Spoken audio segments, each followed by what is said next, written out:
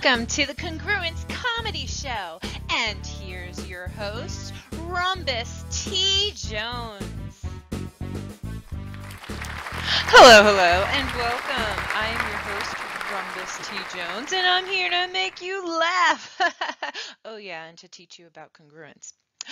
What geometric figure is like a lost parrot? A polygon. Get it?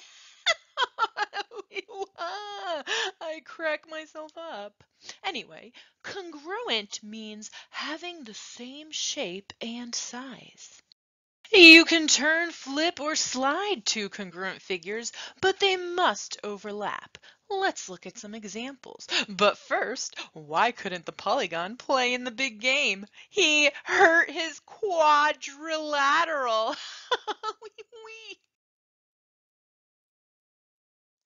Let's try some practice problems. Four shapes are shown above. Which shapes appear to be congruent?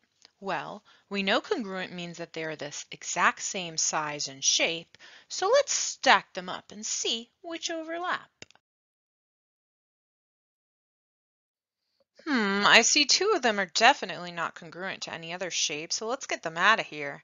And we'll put those bigger two side by side to compare. Uh-huh. Shapes 1 and 4 are the exact same size and shape. That means they're congruent. Okay, okay, before this next practice problem, listen to this joke. Why couldn't the geometry teacher walk to school? She sprained her angle. All right, next problem. An image is shown above. Which statement is true? Well, let's go through each statement. The first statement says figure C is congruent to figure B.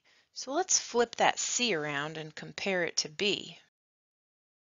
Nope, they're nowhere near the same shape. All right, let's check out the next statement. Figure B is congruent to figure D. Okay, let's check it out. No way. D is much bigger than B, and their shapes are off. Next it says figure B is congruent to figure A. Hmm, let's see that.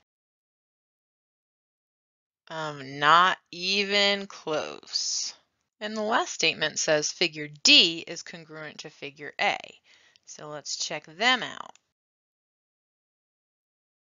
By golly, they are the same shape and the same size, so they are congruent. We have an answer. All right, before you go, why was the mathematician late for work? He took the wrong bus. All right, that's it, folks. Hope you enjoyed my show and Oh yeah, hope you learned a little something about congruency along the way. Have a great day you